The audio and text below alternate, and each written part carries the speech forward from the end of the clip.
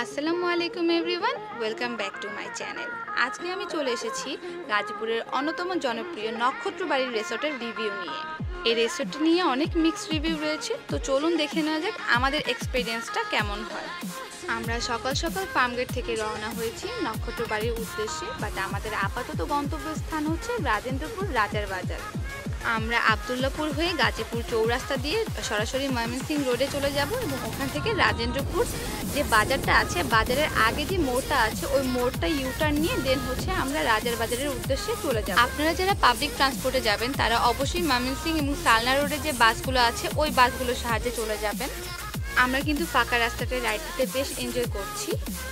আমরা অলরেডি ওটা নিয়ে নিয়েছি, তো দেখা যাক রেস্টুরেন্টে পৌঁছাতে আর কতক্ষণ সময় লাগে। অলরেডি এক ঘণ্টা পার হয়ে গিয়েছে। মোটামুটি পঁয়ত্রিশ থেকে চল্লিশ মিনিট পর আমরা রাজার বাজার, বাজারের মধ্যে চলে এসেছি। এখন আমরা এখান থেকে আরও ভিতরে নক্ষত্রবাড়ি রেস্টুরেন্টের উদ্দেশ্যে চলে যাচ্ছি। একটা জিনিস কিন্তু আপনারা খেয়াল করলে দেখবেন যে পুরাটা রাস্তা ধরে কোথাও নক্ষত্রবাড়ির রিসোর্টের কোনো লোকেশন বা কোনো সাইনবোর্ড ছিল না। আমরা গুগল ম্যাপের সাহায্য নিয়ে এবং আশেপাশে মানুষকে জিজ্ঞেস করে এই পর্যন্ত এসেছি। একদম শেষ মাথায় যে একটা সাইনবোর্ড দেখা যাচ্ছে, দেখতেই পাচ্ছেন এখানে একটা নক্ষত্র বাড়ি লেখা হচ্ছে সাইনবোর্ড আছে। তো এই সাইনবোর্ডগুলো একটু আগে দিলে সুবিধা হতো আসতে। যারা পাবলিক ট্রান্সপোর্টে আসবেন, তাদের জন্য অনেক ভেঙে ভেঙে আসতে হবে এবং মানুষকে জিজ্ঞেস করে করে আসতে হবে, কারণ রেসর্টটি অনেক বেশি ভেতরে। আশেপাশের গ্রাম্য দৃশ্য দেখতে দেখতে আমরা অবশেষে নক্ষত্রবাড়ি রিসোর্টটিতে পৌঁছেই গেলাম। যারা নাইট স্টে করতে চান, তারা কিন্তু অবশ্যই প্রি বুকিং দিয়ে রেসোর্টটিতে আসবেন। তাছাড়া রুম পেতে অনেক বেশি টাফ হয়ে যায়। যারা শুধু রেসোর্টটি ঘুরতে যান, তারা পার পার্সন পাঁচশো টাকা এন্ট্রি ফি দিয়ে পুরো রেসোর্টটি সারাদিন ঘুরে যেতে পারবেন। পার্কিংয়ে অনেকগুলো গাড়ি দেখা যাচ্ছে। এটা দেখে কিন্তু বোঝাই যাচ্ছে যে রেস্টুরেন্টের ভেতরে লোক সমাগম অনেক বেশি। আমরা আগে থেকে রিজার্ভেশন করে এসেছিলাম, এখন রিসিপশনে আমরা সব ফর্মালিটি কমপ্লিট করে দেন হচ্ছে আমরা আমাদের রুমে চলে যাব। তো রিসিপশনটা দেখতেও বেশ ভালোই লাগছে ডেকোরেটিভ লাগছে বেশ। রিসিপশনের ডেকোরেশনটা কিছুটা ইকো টাইপের অন্যান্য রেস্টুরেন্টের রিসিপশনের ডেকোরেশনের তুলনায় অন্যরকম। আমরা রুমের স্বল্পতার কারণে উডেন কটেজগুলো পাইনি। তো আমরা বিল্ডিংয়ের ভিতরে যে টুইন বেডের কটেজগুলো আছে বা রুমগুলো আছে, ওই রুমগুলো নিয়েছি। তো রুমগুলো দেখতেই পাচ্ছেন আপনারা। একটু কালারফুল দুইটা সিঙ্গেল বেড এখানে দেওয়া আছে। ডেকোরেশন মোটামুটি বাট এখানে ভিডিওতে যতটুকু বড় দেখা যাচ্ছে বা যতটুকু ক্লিন দেখা যাচ্ছে, অত কিন্তু ক্লিন না। এখানে এসি আছে ফ্যানও আছে।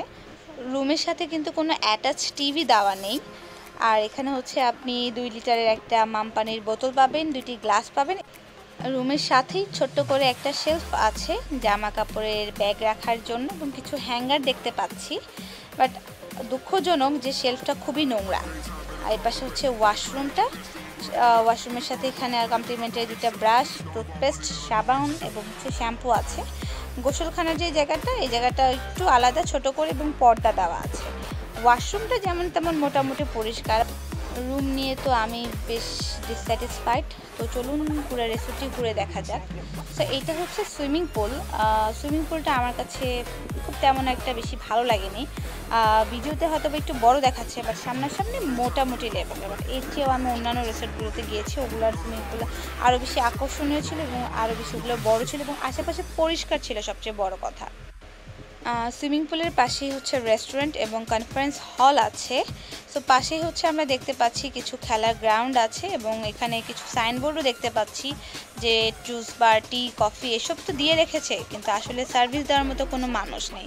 এখানে আসলে আপনি সার্ভিস দেওয়ার কোনো মানুষ পাবেন না। আমি ফুললি ডিসস্যাটিসফাইড আমার অবস্থা এমন হয়েছে যে ভিডিওটা দেখলেই বুঝতে পারবেন, কান্না করে দিচ্ছিলাম যে এখান থেকে চলে যেতে পারলে বাঁচি। মন খারাপ করে আর কি করব? এখন চলেই তো এসেছি। চলুন আপনাদেরকে পুরো রেসর্টটি ঘুরে দেখাই। আর সো এখান দিয়ে হচ্ছে আমাদের যে রুমটা আছে, রুমের বিল্ডিংটা সো আমরা এখান দিয়ে যাচ্ছি। বাকি পুরো কটেজ বা পুরো যে রেসর্ট আছে, এটা ঘুরে দেখার জন্য। আপনারা আশেপাশে অনেক গাছগাছালি দেখতে পাবেন। এখানে হচ্ছে একটা ইয়েলো রঙের একটা, এটা কি আছে? কটেজ না রেস্টুরেন্ট আমি জানি না বাট এখানে কিছু এসি আছে। বিভিন্ন রকমের ট্রি দেখতে পারবেন এবং কিছু ফুলের মতো লাল লাল আছে, ওগুলো দেখতে পারবেন, ঘাস আছে, এগুলোই দেখতে পারবেন। এছাড়া আমি আর কোনো কিছু দেখতে পাচ্ছি না। আমি টোটালি ডিসস্যাটিসফাইড এই গাছপালা কিন্তু আমরা গ্রামে যেয়েও দেখতে পারি এবং আমাদের টিমের সবারই মন খারাপ যে আমরা এখানে এসে কি ভুল করলাম। বাইরে পার্কিংয়ের কাছেই কিন্তু অনেকগুলো পানির কার্টুন রাখা আছে, এগুলো কিন্তু রুমে এবং রেস্টুরেন্টে যায়। এভাবে বাইরে পানির কার্টুন রাখা আমি মোটেও প্রেফার করি না। এতে আসলে রেস্টুরেন্টের সৌন্দর্য নষ্ট হয়ে যায়। দুই তিন মিনিট হাঁটতে হাঁটতে আমরা একটা ব্রিজের কাছে চলে এসেছি। এটা হয়তো কাঠের ব্রিজ। সো এখান দিয়ে আমরা উঠছি। দেখা যাক সামনে আর কি আছে। এখানে পাশেই পুকুর আছে এবং এখানে আরও গেস্ট আছে, তারা ছবি তুলছে। এপাশে দেখা যাচ্ছে নতুন কিছু বিল্ডিংয়ের কাজ হচ্ছে। এটাও রেসর্টের মধ্যেই। বাট ওইখানে এখন আপাতত যাওয়া অ্যালাউ না, যেহেতু কাজ হচ্ছে। তো এই পাশেই কিন্তু আবার ওয়াটার কটেজগুলো রয়েছে। আবার এখানে হচ্ছে এই যে কাঠের ব্রিজটা আছে, এই ব্রিজে যে নিচে যে পুকুরটা আছে, এই পুকুরে হচ্ছে আপনার বোটিং করার সুবিধা আছে বোটিং করার অপশন আছে। কিন্তু হচ্ছে এই বোটিং করতে গেলে আবার আপনার আলাদা পে করতে হবে, তিনশো টাকা করে চার্জ দিতে হবে। এই ব্রিজের এখান থেকে দাঁড়িয়ে কটেজের যে ভিউটা আছে, এটা দেখতে বেশ ভালোই লাগছে এবং ওখানে আমরা দেখতে পাচ্ছি যে একজন মাছ ধরছে। মানে এই পাশে একটা পুরান ধাঁচের একটা বিল্ডিংয়ের মতো আছে পুকুর পার আছে, এগুলো দেখলে মোটামুটি ভালোই লাগে, খারাপ না। এই পাশে যে কটেজের ভিউটা এই ভিউটা বেশ সুন্দর।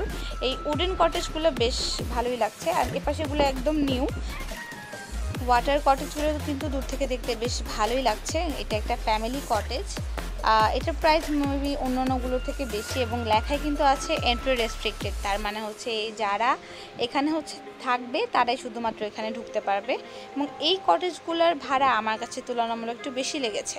আর এক এক একটা কটেজের ভাড়া দশ হাজার সাতশো সামথিং সো ওভার প্রায় কটেজ দিয়েই আমার পুরো রেসিটি ঘোরা শেষ। আপনারা আসলে কিন্তু এক ঘণ্টার মধ্যেই পুরো রেসিটি ঘুরে শেষ করতে পারবেন। আমার যদি অপশন থাকতো, আমি ঢাকায় ব্যাক করে যেতাম।